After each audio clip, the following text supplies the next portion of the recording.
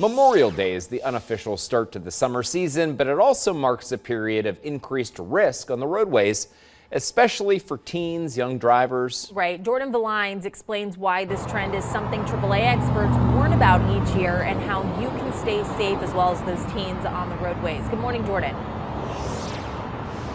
Good morning. Yeah, so we're talking about what AAA calls the 100 deadliest days. Now, that stretch started yesterday, Memorial Day, and it stretches then into Labor Day. And they say during this particular time, during this particular bank of time, uh, there is an increase of 20% on the roadways in terms of fatalities, especially those involving teenagers. So, in terms of the uh, statistics right here in Ohio, here's a bit of a breakdown Again, all of this according to AAA. So last year, more than 9,000 crashes were reported here in Ohio during this 100 deadliest days stretch. There were also 50 fatalities and more than 200 serious injury crashes. Now, in terms of teen drivers here in Ohio, 250 people were killed in crashes involving teens within this 100 day stretch. This is from 2012 to 2021. And something important to note here